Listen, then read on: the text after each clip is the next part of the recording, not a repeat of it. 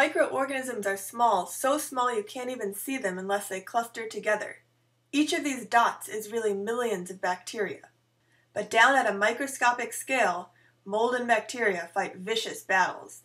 Their resources and territory are scarce, and the stakes are survival.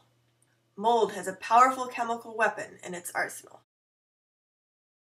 I'm Emily, and I'd like to show you Alexander Fleming's famous discovery that bread mold kills bacteria.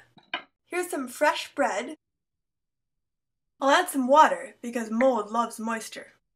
Now I need bacteria, which you can find basically anywhere, including in your mouth. This petri dish has a jello-like layer of agar, food for the bacteria in my saliva. It'll take a few days before the colonies of bacteria are big enough to see. Let's set up a place to grow the mold and bacteria in a contained way so it doesn't spread or infect anything else. These bell jars will help make sure that nothing contaminates the experiment and the experiment doesn't contaminate anything else. I'm back! Wow, there's a lot of bacteria. Each cell divided and divided and divided to make a colony that we can see now. Some bread mold also grew, Let's see if it can kill some bacteria. I'll take a chunk of bread mold and let it do its work. Legend has it that in Fleming's original experiment, some mold from his lunch sandwich accidentally dropped into his petri dish. Let's take a closer look, then we'll come back later and see what's changed.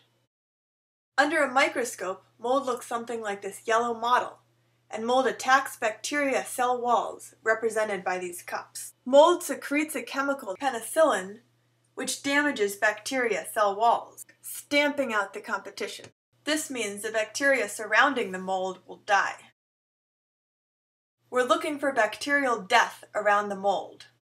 Do you see where the bacteria have died around the mold?